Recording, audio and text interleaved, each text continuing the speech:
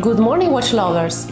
Today's video is for those who are approaching the Rolex world and market. In fact, today I'm showing you what you are supposed to find in your Rolex box.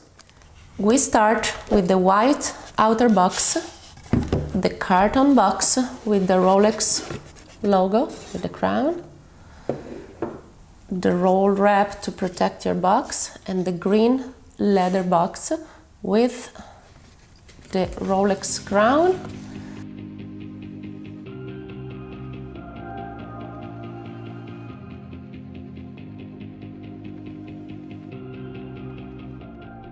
On the back of the box you'll find the numerical code matching the watch you are buying and the size of the box.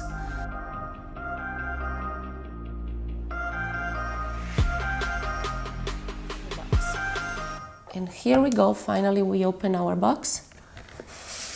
You have your watch on the pillow. You have the white tag with the barcode and the serial number of your watch. You have the green seal tag indicating the categorization of superlative chronometer. And in the inside part of your box, the certification of the metal used for your watch the guarantee manual worldwide service. You have the card holder with your warranty plastic card. On the card you will see the reference number, the serial number and the date of purchase and you have the owner's manual guide of the watch you bought.